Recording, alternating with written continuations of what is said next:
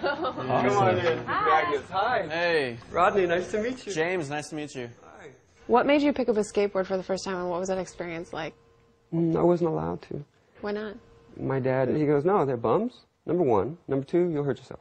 And so I just waited till Christmas Eve, and I begged. So he goes, first time you get hurt, you quit? Okay. And so from then on it started, I was like one complete pad little kid, you know. and it's funny, I think first day I did, I fell on my teeth. I was blood all over and I was crying. I was like 11. And he goes, what are you crying about? And I go, I just don't want you to make me quit. And I remember it took him aback. And it was for that very reason he allowed me to keep going. Because I wasn't crying about pain or anything else. I noticed that, like, you know how he's like a very humble person? You know how like monks are always like like this?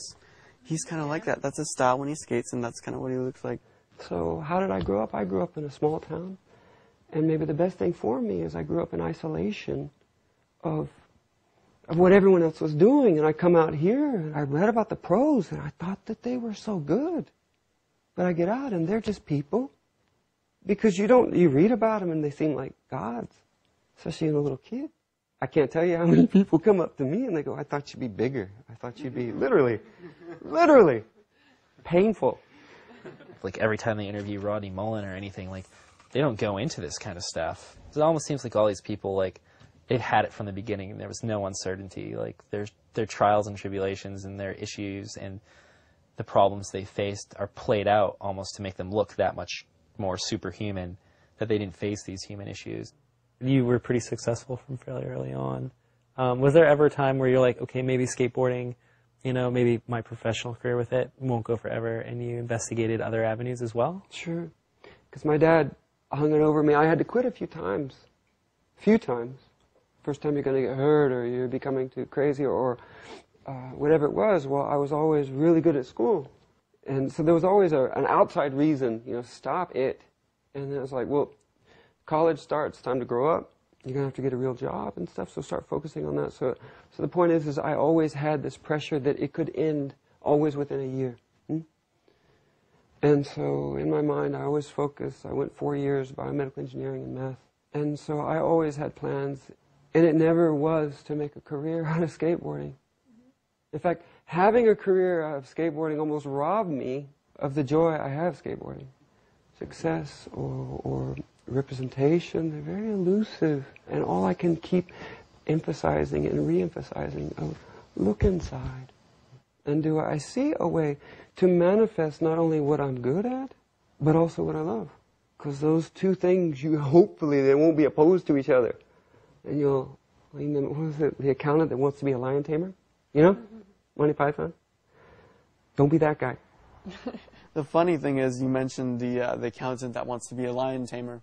Well, I was very good at accounting, but I dumped that and decided I really want to develop software. I really want to do that. And it was so frustrating going around at a career fair and being like, well, do you have anything, anything that I can get started in, anything that I can just get my foot in the door, I'll work really hard, that sort of thing.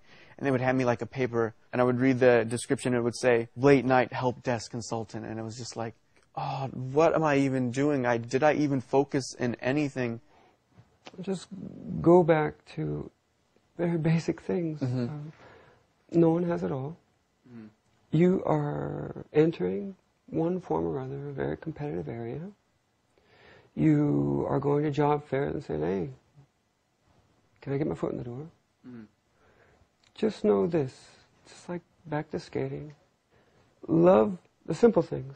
Don't expect to be put in any special position. Mr. Miyagi type of thing. Just do the simple things. Things that you know and get satisfaction out of that. Lear- you got to learn their ABCs. They're not going to hoist you to the top no matter what unless you prove yourself. No one's just going to offer you some position at the top.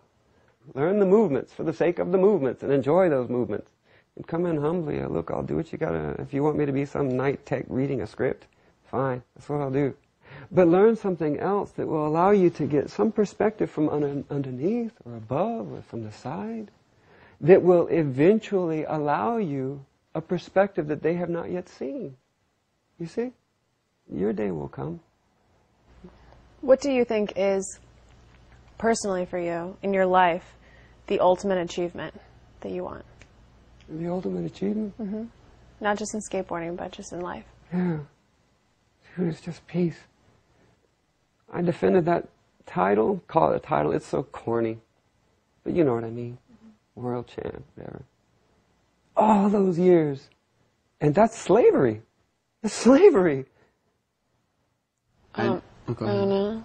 Go ahead, James. Okay, I, I can. Uh, I mean, I can't. I, I'm no way saying that I can relate, but I think just on like a really small scale, I can kind of see how how you're saying. It, it's so amazing to hear that after all the success that you've had, that the only thing that you want is peace. Not even the money, and not even the fame or all those rabbits that people are following. I just I just find that find that amazing because it it almost seems like it's inevitable because people are driven to do amazing things, but it's true. Like every single person, it seems like they eventually get to the end of it and they burn out and it's just all downhill from there. I see so many people with so much talent and all these attributes I wish I had. And they get what they want, whether it be money or fame or whatever it is that they idealize of that's it for me. And then it just stops. They won't run. They won't chase anymore. It somehow robs them of the joy they had of doing what they did. For like 11 years, I won like, I don't know, 35 out of 36, 33 out of 30. Anyway, I lost one contest in 11 years. And all that did was make me crazy. And I thought I couldn't compete for a year. Because I was getting crazy. My, my dad made me stop. It's like, well, okay, what am I without contests? To be number one, is it important? No, it's not important. Because I just skate. I just love to skate. The Point is, is like, who are you? What is your distinct contribution? And that is so valuable. Whether it gets you anything, trophies, doesn't matter.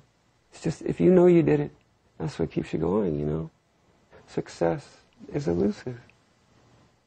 I think what you said just now has completely averted me from going down this pretty horrible path that would probably only get worse and only more frustrating.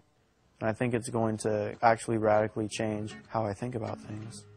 I want to thank you so much for that. Well, you're welcome, and thank you, you know. Thank you for articulating that to me.